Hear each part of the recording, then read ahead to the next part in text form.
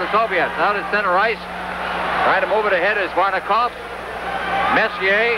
Messier is center ice. He moves over the line now. Messier still with that puck. Drops it back. Nice play. Here's uh, Yzerman, and he banned on it. Under a little checking pressure from Kovin. Kovin around the board. Is.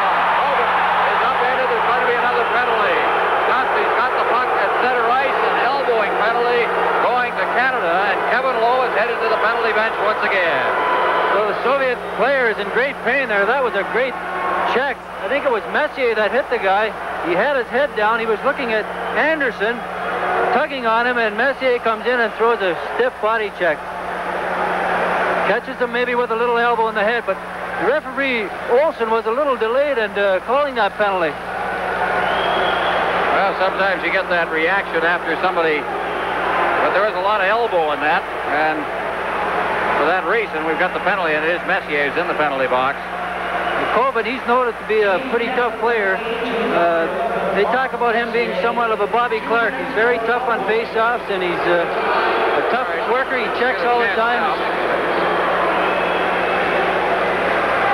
That one hurt. Kovin, by the way, is the all-time active penalty leader in the Soviet Union himself. And he took a shot.